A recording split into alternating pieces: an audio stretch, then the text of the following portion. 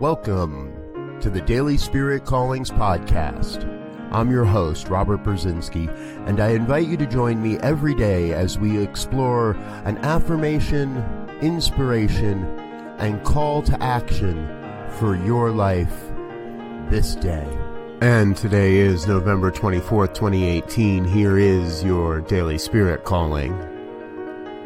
No matter where my feet may land, I experience the infinite nature of the One. Every step lands on holy ground.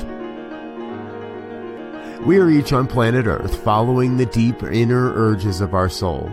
As we traverse the mighty landscape of our lives, we are always standing on holy ground.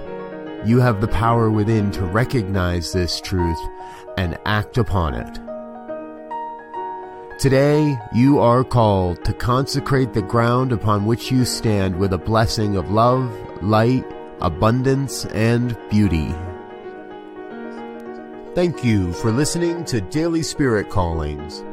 If you found value in this program, please share it with your friends. Learn more about Spirit Evolving Ministries at spiritevolving.com. Until next time, Peace and blessings. Go forth and prosper.